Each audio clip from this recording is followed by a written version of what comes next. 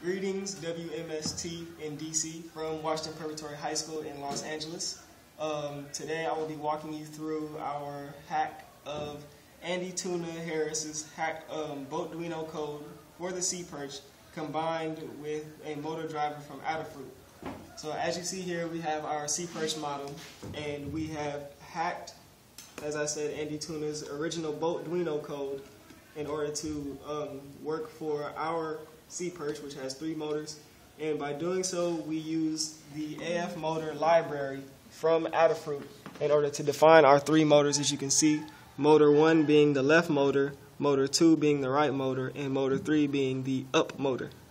So what we have done was um, we left most of the most of the code the same, but we had to redefine our cases. Uh, as you can see here, we have um, for to turn left, as you see, um, when, when we press, oops, hold on, when we press the little L button, our left motor turns, and we go right. When we press S, the motor stops. When we press the little R, our right motor turns, and our uh, Sea Perch moves left. So once again, I will stop the motors. Now, when we have a big L, and we press enter, both motors move, one in the left direction and one in the right direction, so our um, Perch can make a sharp right turn. I'll stop the motors, and the exact opposite will happen when I press the big R. It'll make a sharp left turn. Now, for our forward, we have, let's stop this. So now, if we want the motors to move forward, we press F, and both of our motors are moving in the forward direction. And for our, backwards direction, we have lowercase b, which moves both motors backwards. Now, the trickiest part of our hack was using the up button, which we had connected originally, but it wasn't working. We didn't know why.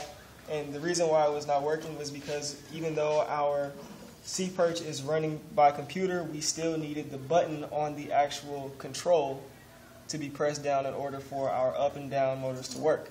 So if we want to go up, we press U, and our motor goes up.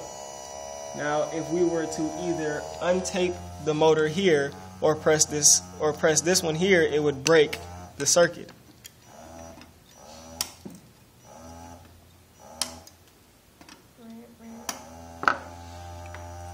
How do you move down? And in order to move down, we would press D. And the, and the Sea Perch dives. And once again, if we were to press this button, the connection would be broken.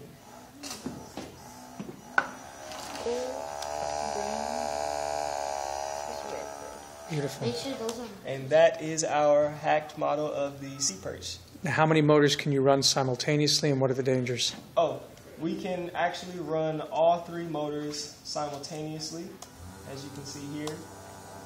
But the problem is our um, oh, oh, one of the wires came out. Oh, um, our power, our motor shield will eventually overheat because it's not made to run three motors at the same time for very long. As you can see already, all three have started to heat up. Mm-hmm.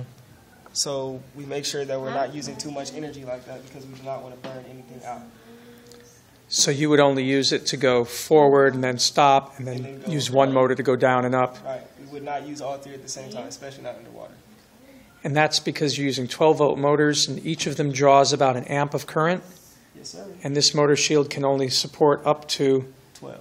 up to two amps, Oh, 12. 12 volts, 12 volts, but 2 amps. two yes. amps. Excuse me. So running three would overburden it. Is there a solution for that? Yeah, but you didn't has to do with piggybacking. Piggybacking. You didn't Yeah. tell me The the solution is that we Wasn't I, we're talking about this one? we take these H bridges and we put another H bridge on top of each one, like it's piggybacking. So we take another one of these these IC chips and put it on top, and we'll solder it together, and that'll double the amount of current that it can Oh, support. okay. You learn something new every day. All right. Well, thank you very much, EZ. Thank you. And just to introduce yourselves, My name is Luis. we hope that you guys will enjoy working together this semester.